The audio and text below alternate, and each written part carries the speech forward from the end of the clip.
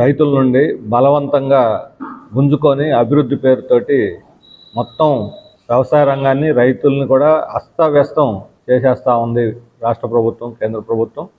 ఈరోజు ఈ జిల్లాతో సహా నెల్లూరు జిల్లాతో సహా అనేక జిల్లాల్లో సాగర్మాల పేరుతోటి భరత్మాల పేరుతోటి పైప్ లైన్లు వేసే పేరుతో హైవేలు వేసే పేరుతో రైల్వే లైన్ పేరుతోటి ఎస్సీజెడ్ల పేరుతోటి ఒకటి కాదు.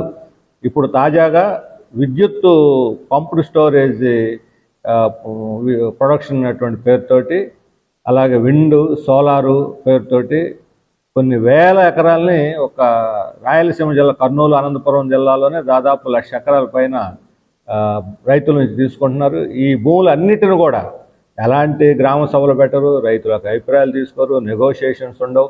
ఇస్తారా? లేకపోతే బ్యాంకులో డబ్బులు వేసి మేమే లాగేసుకుంటాం. ఈ రకంగా బలవంతంగా తీసుకొని అంబానీలకి అదానీలకి లేకపోతే ఇతర పెద్ద పెద్ద కార్పొరేట్ కాంట్రాక్టర్లకి కట్టబెట్టడానికి చూస్తున్నారు. దీనివల్ల రాష్ట్ర వ్యవసాయ రంగం కుదేలైపోతుంది.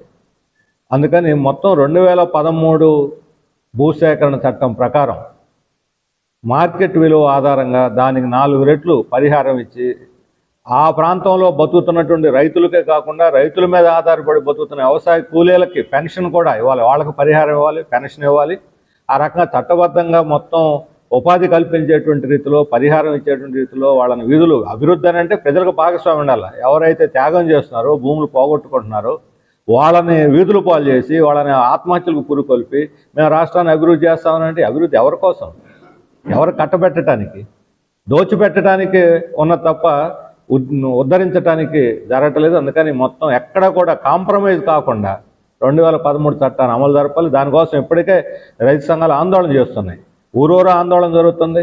ఎదురు తిరుగుతున్నారు ప్రతిఘటిస్తున్నారు. అయినా ప్రభుత్వం లెక్క చేయకుండా పోలీసులు దించి అదిరించి బెదిరించి కేసులు పెట్టి భూములు గుంజుకోవటానికి మాత్రమే సిద్ధపడుతుంది. పోనీ ఇక్కడ పరిశ్రమలు పెట్టకుండా ఉద్యోగాలు ఇవ్వకుండా ఉపాధి కల్పించకుండా ఈ వేల ఎకరాలు ఏం చేస్తారు? మీరు పరిశ్రమలు పెడతారా? లేకపోతే భూములు రైతులు తిరిగిస్తారా? ప్రభుత్వం ఏదో ఒకటి తేల్చాలి.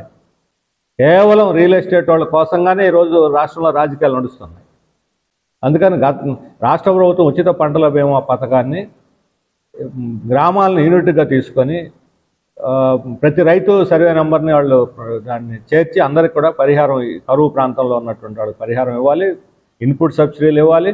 అలాగే ఈ ఆ, మరలా తిరిగి పంటలు వేసుకోవడానికి కూడా సహకారం రేపు ప్రత్యామ్నాయ పంటలు వేసుకోవడానికి సహకారం అందించాలని చెప్పి మేము డిమాండ్ చేస్తూ ఉన్నాం. విద్యుత్ కోతలు చాలా తీవ్రంగా ఉన్నాయి.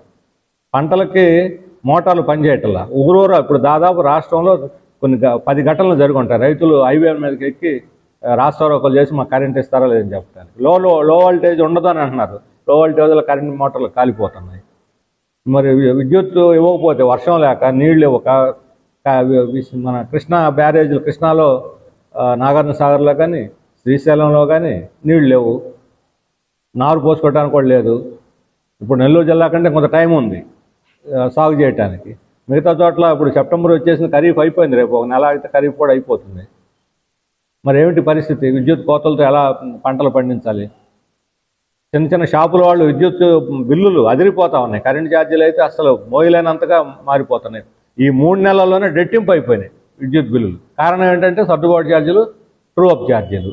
మూడు రకాల ట్రూ అప్ ఛార్జీలు వేస్తున్నారు. నాలుగు వందల బిల్లు వచ్చేటువంటి వాళ్ళకి ఇప్పుడు ఏడు వందలు ఎనిమిది వందలు వస్తుంది దాదాపు రెట్టింపు అయిపోయింది కరెంటు బిల్లులు. బతకాలా చావాలా? ఇదేనా జగన్మోహన్ రెడ్డి చేసిన వాగ్దానం? అందుకని ఈ రకమైనటువంటి సమస్యలని సృష్టించి రైతాంగాన్ని గ్రామీణ ప్రజానికాన్ని పేదలను కూడా దెబ్బతీస్తున్నటువంటి పరిస్థితుంది.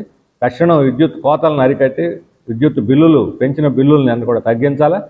ఈ స్మార్ట్ మీటర్లు పెట్టి మేము దోచుకు తింటామంటే స్మార్ట్ మీటర్లు మళ్ళీ ఆ ఖరీదు కూడా డబ్బులన్నీ రైతుల దగ్గర ప్రజల నుంచి వసూలు చేస్తున్నారు కన్జ్యూమర్స్ నుంచి. పదేళ్ళ పాటు ప్రతి నెలా బిల్లులో స్మార్ట్ మీటర్లు ఖరీదు కట్టేయాలి అందరూ. ఇది ఇదేమో ఏ షిరిడి సాయి కంపెనీకో లేకపోతే అదాని కంపెనీకో వాడు కాంట్రాక్ట్ ఇస్తాడు వాళ్ళకి నాలుగైదు వేలు పెడితే వచ్చేటువంటి స్మార్ట్ మీటర్లు ఈరోజు ముప్పై రెండు వేలు పెట్టుకుంటున్నారు దోపిడీ కాదా ఇది? ఎవరిని ఉద్ధరించడానికి? ఎవరు అడిగా అసలు ఎవరు అడిగారు రాష్ట్ర ప్రభుత్వాన్ని స్మార్ట్ మీటర్లు పెట్టమని? పెట్టినందులో చాలా లాభం ఏమిటి? అందులో ప్రీపెయిడ్ పోస్ట్ పెయిడ్ ప్రీపెయిడ్ అని చెప్పారంటే కరెంటు వాడుకోవాల్సిన అవసరం కూడా లేదు.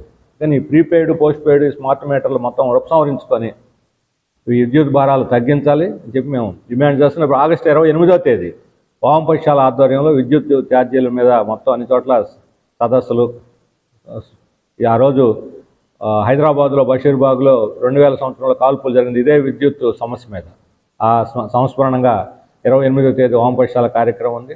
ఈ నెల ముప్పయో తేదీ నుంచి నాలుగో తేదీ వరకు సెప్టెంబర్ నాలుగో తేదీ వరకు దేశవ్యాప్తంగా సిపిఎం ఆధ్వర్యంలో ఈ ధరల పెంపుదలకు వ్యతిరేకంగా నిరుద్యోగ సమస్య మీద ఆందోళన కార్యక్రమం జరుగుతుంది. రాష్ట్రంలో ఈ కేంద్ర రాష్ట్ర ప్రభుత్వాల నిలువు దోపిడీకి వ్యతిరేకంగా సమరభేరి మోగించాలని చెప్పి సిపిఎం నిర్ణయించుకుంది. ముప్పై నుంచి నాలుగో తేదీ వరకు ఈ కార్యక్రమం దేశవ్యాప్తంగా నడుస్తుంది. మన రాష్ట్రంలో కూడా ప్రతి ఊళ్ళో ప్రతి వాడలో ప్రతి టౌన్లో కూడా దీన్ని జయప్రదం చేయాలని చెప్పి ప్రజానీకానికి విజ్ఞప్తి చేస్తాను.